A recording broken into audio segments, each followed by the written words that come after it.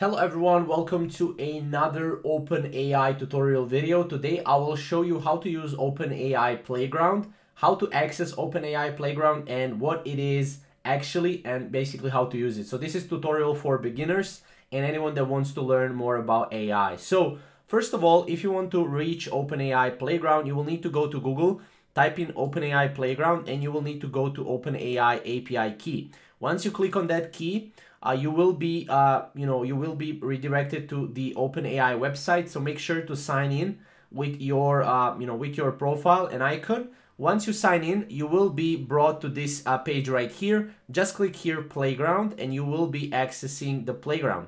Now as you can see uh, on the left side we can see get started, enter an instruction or a sel select a preset and watch the API respond with a completion, right? So as you can see here, we can load a preset, right? For example, we can load a, a grammatical standard English, uh, text to command, Q&A, English to other languages. Um, you know, we can open, uh, you know, chat. We have more examples here. If we click, as you can see, we have, uh, you know, bunch of different things. Movie to emoji, convert movie titles into emoji, right?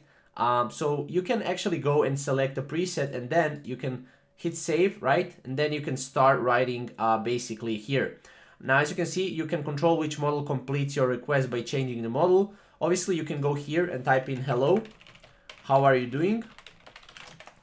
And then, as you can see, if we click submit, we'll basically get the answer, right? So this is basically how it works. Similar to ChatGPT, this is actually a ChatGPT algorithm.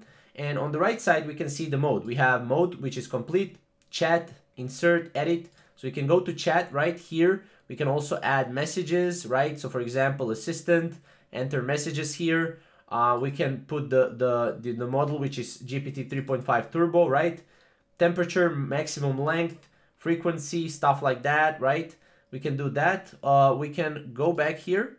If we go back on the uh, side that we were on, and if we go back to playground here, we can see that model is Text DaVinci. We have this model as well, which is very capable but faster and lower cost. We have Text Babbage as well. So actually you will need uh, to, uh, you know, play around with it. And as you can see, obviously you will need to also, uh, you know, if you're using Playground, you can also hit here to speech to text. So for example, uh, I can upload it from my computer or I can start here. Hello, how are you doing? Hello, how are you doing? and then I can stop recording, right? And then as you can see, hello, how are you doing? Hello, how are you doing? And I can use this as an input, right? And then as you can see, I can submit right here. And basically, as, as you can see, it will answer, right? It's very simple. Then what you can also do is you can go to three dots here. You can content filter preferences. You can upgrade if you want, because for this, to, to use it all the way through, you will need to pay it, right? You can also, um, you know, obviously play around with these settings on the right side, but I don't really play around with it.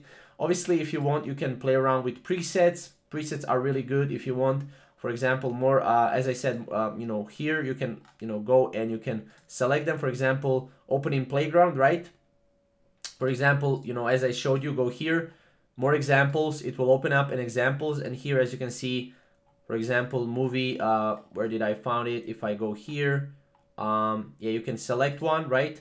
and then here you can open it in playground right? And then you can pretty much use it in playground right? So that's pretty much how to use google uh, not google but openai playground. You can also search for categories stuff like that but it's pretty much how to use it. If you have any questions around this or comments comment down below and we'll see you in the next video. Thank you guys for watching